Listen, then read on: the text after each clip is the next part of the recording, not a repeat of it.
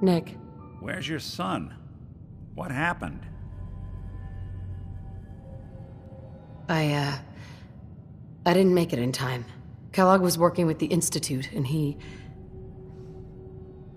He gave them Sean. The Institute? Oh boy. I'm sorry, friend. Truly. That makes things considerably more complicated. He ain't kidding. Heck, Nick's a synth, and even he doesn't know how to get in.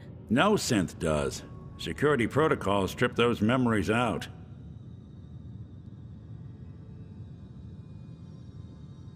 I need to find a way. I've been investigating these creeps for over a year now.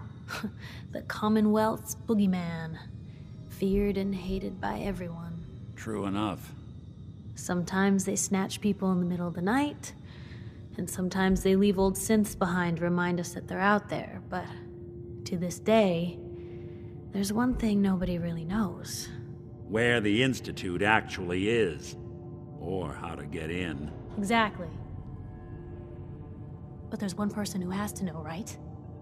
The guy who just handed them Sean. Kellogg. Huh. Whatever you're thinking, it doesn't matter. He's dead. Yeah. Figures the Institute's only man on the outside wouldn't be the type to be taken alive. So, a murderer and a kidnapper gets his brains blown out by an avenging parent. Huh. Be a great ending if we didn't still have the biggest mystery in the Commonwealth to solve. Doesn't matter what he knew. I'd kill him again in a heartbeat. Gets his brains blown out. Huh. His brains. You know, we may not need the man at all. You're talking crazy here, Nick. Got a fault in the old subroutines? Look, there's a place in Goodneighbor called the Memory Den. Relive the past moments in your mind as clear as the day they happened. If anyone could get a dead brain to sing, it'll be Dr. Amari, the mind behind the memories.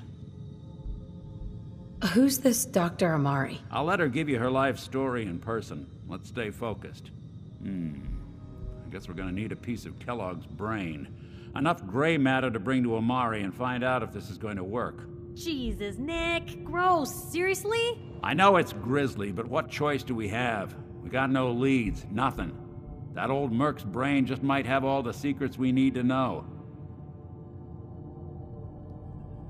I'm gonna need a really sharp ice cream scoop. I'm sure you'll manage. Whether we're riding this crazy brain train or not, we can't all go running across the Commonwealth, so. Who's coming with you? I have to go to the memory den either way if I'm going to introduce you to Amari. But if you want to head there together, just say so. I'll head out with Piper. We'll meet you there, Nick. Sounds good. You two stay out of trouble. Don't worry. We're gonna get your boy back. Just a few more steps.